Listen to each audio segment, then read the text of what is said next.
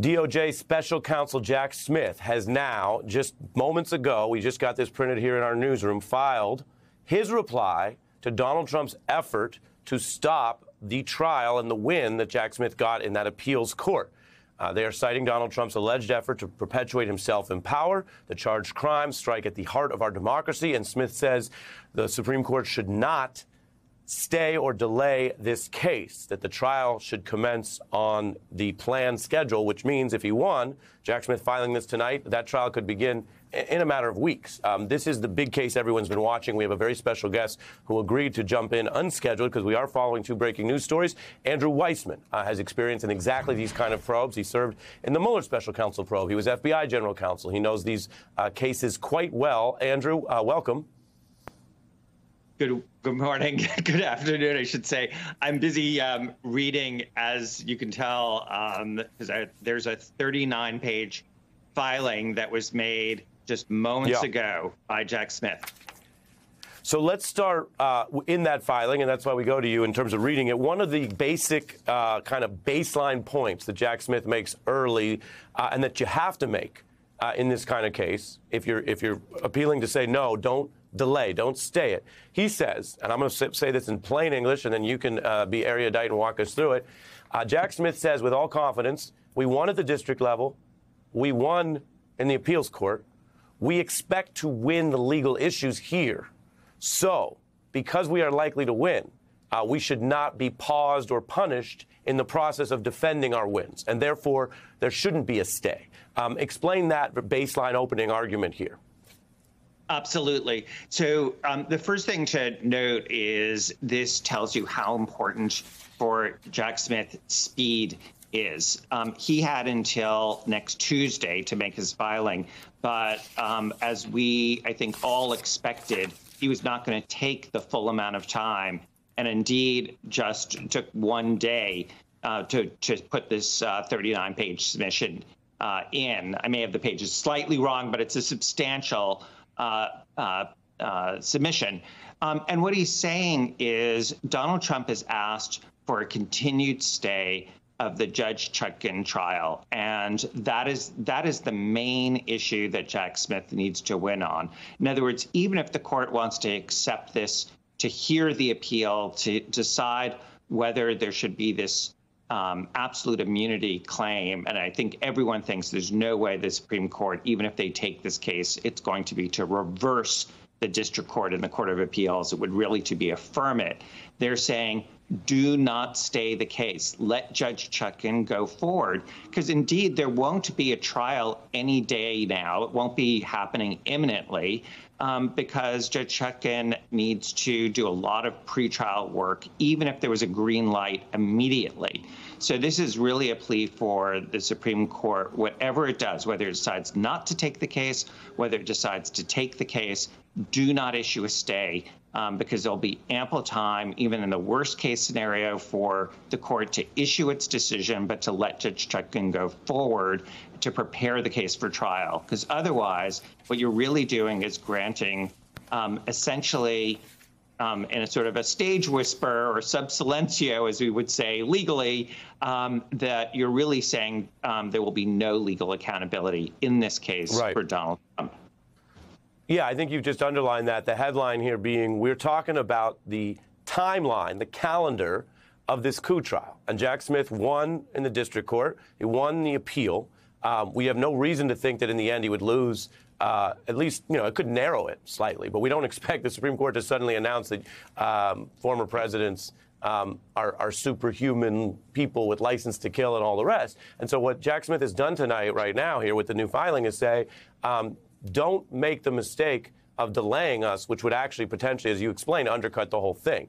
Uh, Andrew Weissmann stays with us. Uh, he is literally the perfect guest you could have on the prosecution side of this breaking news.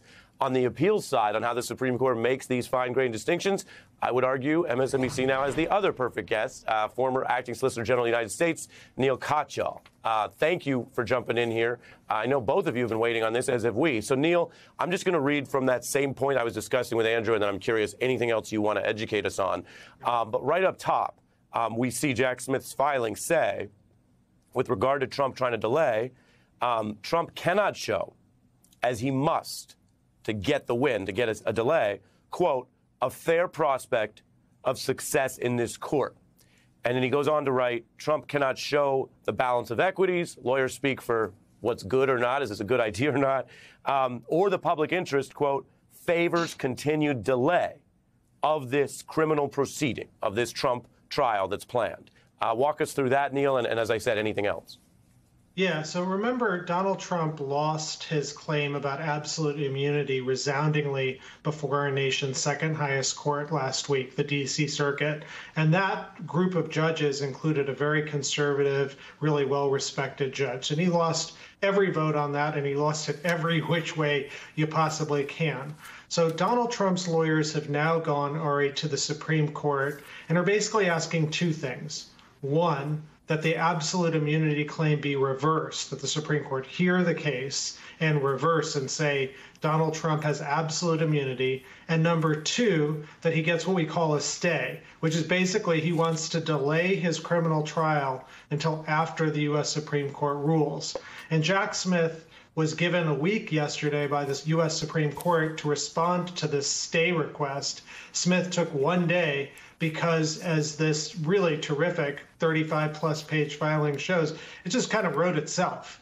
And basically, Smith is making a few arguments. Number one, that in order to get a stay, in order for Trump to delay, he's got to convince a majority of the Supreme Court that the Court of Appeals decision is likely to be reversed. And on that, Smith is just so good in saying, no chance. Let me just read to you one quote from this brief. Trump's position finds no support in constitutional text, separation of powers principles, history, or even logic. And if the radical claim were accepted, it upended understandings of presidential accountability that have prevailed throughout history while undermining democracy and the rule of law, particularly where, as here, a former president is alleged to have committed crimes to stay in office despite losing an election, thereby seeking to subvert constitutional procedures for transferring power and to disenfranchise millions of voters. That's a remarkable claim to be made against a former president in a brief to the United States Supreme Court by our Justice Department. But that's what this is about. And Jack Smith is not mincing any words. So that's the first point that there's a likelihood that there's no likelihood that Trump's going to get this. And then he goes on for page after page. It's just devastating, Ari, explaining why Trump's claim fails constitutional logic principles and the like. And then the last thing, and I think we're going to hear a lot about this, at the very end, Smith says, Look, Supreme Court, if you want to hear this case, hear it quickly. Expedite the appeal. We're ready to go in March, and we want Let's... you to decide it that quickly. Um, let me let me read that, and then and then you can break it down. I'm curious uh, Andrew's reaction as well because that's the plan B here. I just want to reset as we do around the news because I got two super smart, uh, fast talking lawyers here. Uh, the breaking news is that Jack Smith has now stepped up and very quickly, you know, filed his Supreme Court filing, um, telling the Supreme Court we won. We want to put Trump on trial. We don't accept any delay. We don't think this should be delayed or stayed. Uh, and both of our lawyers here are with me on that. And so, Neal, um, that's basically plan A. Plan B, you just alluded to, um, which it, he basically, Jack Smith says, full steam ahead, green light the coup trial. Then he says, if you must review this, uh, if you feel the Supreme Court that somehow um, the DOJ is wrong, that there's some reason you got to get into it, case of first impression, things we've heard, we, we heard from Attorney General Holder about that recently on the show. He says, and, and I apologize to the viewers here, I'm just going to read right off this. We don't have it. It's so new, we don't have it yet for the screen. But he says, if the court believes that Trump must have this, this review at this time, I'm reading from middle of page three to both of you. Um, the government then, the DOJ asked to treat this petition as a writ of, of certiorari, basically that you would review the whole thing, uh, the case, and then have expedited briefing. And then Jack Smith says a fast schedule would permit the court to, quote, issue its opinion and judgment, resolving the immunity issue as promptly as possible this term, so that if the court rejects Trump's immunity claim, a timely and fair trial can begin with minimal additional delay. I believe that's part of what you were referring to, Neal. So, so break that down for us, and then Andrew. Yeah. I, I, think what we're likely to hear from the Republicans who are trying to defend Trump is look, Jack Smith is signaling weakness here. He's saying the Supreme Court should set an expedited briefing schedule, not deny to hear the case. That's not what Smith is saying. There are 36 pages of this brief that say Supreme Court There is absolutely nothing here. Don't hear this case.